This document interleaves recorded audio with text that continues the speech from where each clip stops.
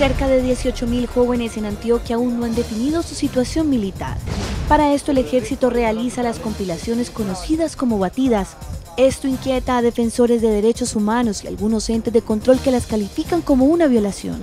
Esta es una vulneración clara de retención ilegal, es una vulneración al derecho humano. ¿Qué tan ilegales son las batidas? ¿Qué responde el ejército?